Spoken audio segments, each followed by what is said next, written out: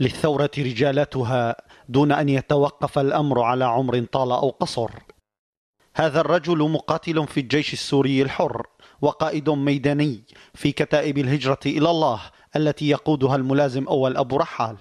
الاختيار كما يسميه من حوله من المقاتلين. رجل بلغ من العمر ما بلغ وحفرت في وجهه السنون آثارها لكنها لم تنل من جسد ما زال صامدا وماضيا في معركته ضد الطغيان. على حد قوله.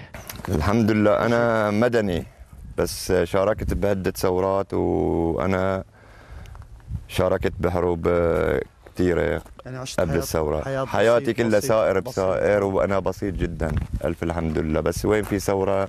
لو كانت بفلسطين نحن بنروح قضى فترات طويلة من حياته في الحرب. كان مقاتلا في صفوف الفدائيين الفلسطينيين لسنوات طويلة. مع بداية ثورة الكرامة كان الاختيار من رجالاتها الذين خرجوا إلى الشوارع ومن ثم انتقل إلى حمل السلاح بعد أن ازدادت قوات النظام قسوة وعنفا. تحدث إلينا عن معركة خاضها هنا في قرية ربيعة متنقلا بين المباني واصفا ما جرى بكل نشوة معبرا عن فرحة انتصار. لا تنتهي. اجينا عليهم من ثلاث محاور من الجبل من ثلاث محاور ومن الطريق العام ومن تحت من الشارع الرئيسي. وسلاحنا الحمد لله هو قاذف RPG. اكثريه سلاحنا نحن من الغنائم لأنه لما بلشنا بالجبل نحن معنا جفوت صيد بارودة.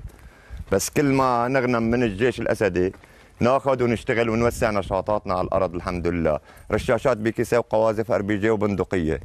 حديثه إلينا كان بلهجة سكان مدينة اللاذقية. سرد خلال حديثه ما دار هنا حولهم من تفاصيل في معركة تحرير مخفى الربيعة ومبنى بلديتها بجمل تدل على معرفة بالحرب وتفاصيلها. هي قذائف الدبابة.